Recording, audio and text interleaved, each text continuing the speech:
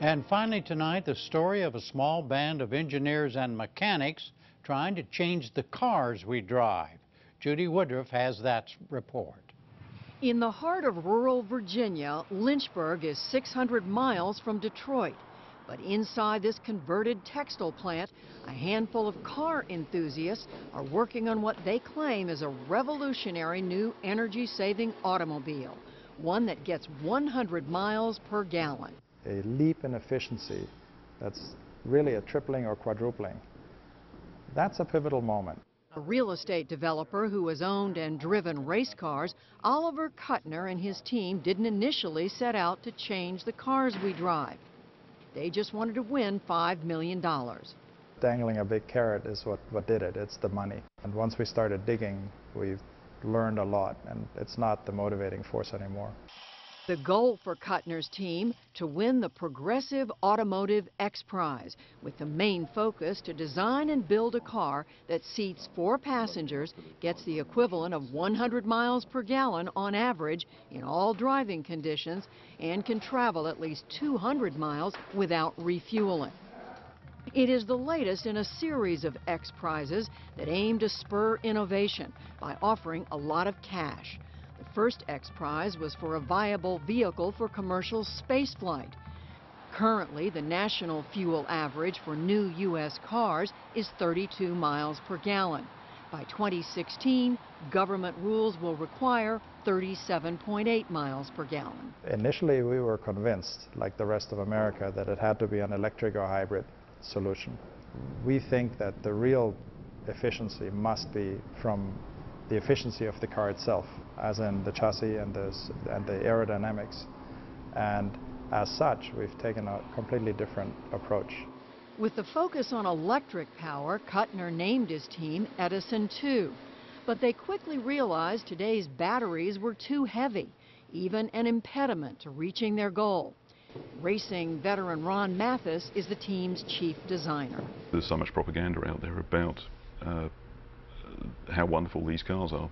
Um, as we began to do the numbers, we just began to see it differently. What, what happened?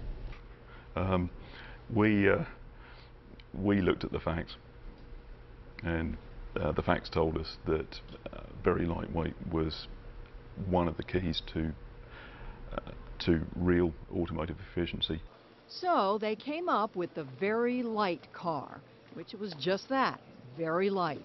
It weighs under 800 pounds compared to the average car now on the road, which is over two tons. Instead of batteries, their car is powered by an ethanol-based gasoline. Its diamond shape is meant to maximize aerodynamics and optimize fuel efficiency.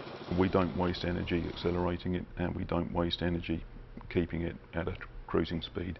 Uh, it's because it's light and because it has such very low drag, it's just very easy to push. The fact that you can do that is what makes it efficient. But such a light weight raises safety concerns. Safety is certainly the biggest hurdle. Kuttner's team answers from a race car perspective. We used a lot of the technologies that you would expect in an Indy car or a Formula One car to protect the passengers in our car. By having the suspension inside the wheel, we create all this other distance to become impact-absorbing structure. In a normal car, all that is taken up by rigid suspension parts. In our car, it essentially becomes a pillow. And this pillow is what saves you your life. Still, on American highways with 40-ton trucks and SUVs hurtling at speeds over 60 miles an hour, the very light car looks very vulnerable. We want to maintain the, the, the safety of the vehicle, so you, you have a balance there with downsizing, versus downweighting versus safety. So that's a real important balance that you have there. Mike Stanton is president and CEO of the International Automobile Manufacturers Association. When you're producing a, a vehicle for mass markets, there's some concerns that you have that you uh, might not have on a one-of-a-kind or two-of-a-kind vehicle. It's got to be affordable, but uh, you look at aerodynamics, which was a big part of it. You look at the light weighting.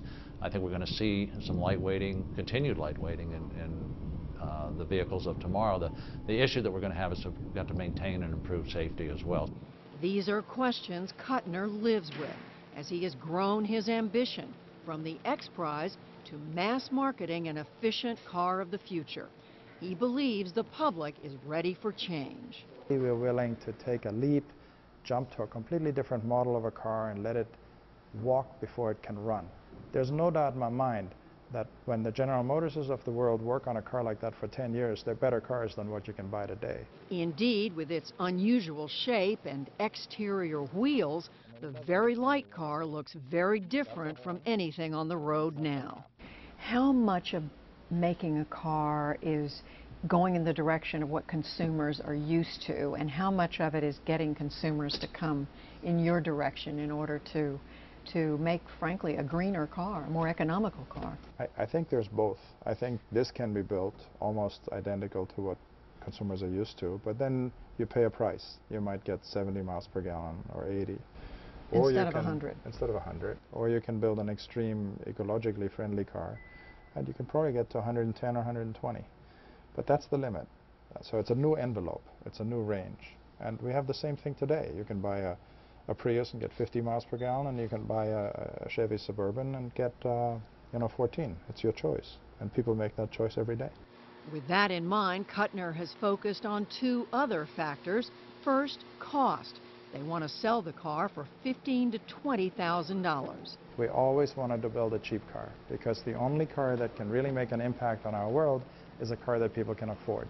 I mean, our entire engine transmission unit costs less than most electric cars' batteries by far. So I mean, we, we can probably deliver an entire car for the price of some of these battery packs. And second, domestic production. The very light car has been entirely made in America, a fact the Kuttner team argues was crucial to their success. It's all very well having stuff made in China, but when it comes to making a prototype, you need it made just down the street because you need it like, you know, today, tomorrow, or at the latest next week. This is one of the reasons we're in Lynchburg, is that there, there is still a legacy of manufacturing industry here, and that enables us to do lots and lots of things. But first, Edison 2 has to win the X Prize, which they've chased all the way to the finals. 111 teams from 11 countries started out in January. And as the last stage is now underway, Kuttner's team is the only one left in the four passenger category. Still, they'll have to continue to meet the prize requirements to win. Their very light car got the equivalent of 110 miles per gallon in the final track test last month in Michigan. And Edison 2 is confident they will prevail. I think we're with almost 100% certainty on that track. I, I, I think I can say that comfortably. What I can't tell you is if there are going to be, in 10 years, 4 million of these a year sold or, or 40,000. But you can be sure that this idea is not going to be stillborn. It's, it's too good and it's too right and it works too well. For now, the very light car heads to a lab for its final evaluation. The X Prize will announce if Kuttner and Company win in September.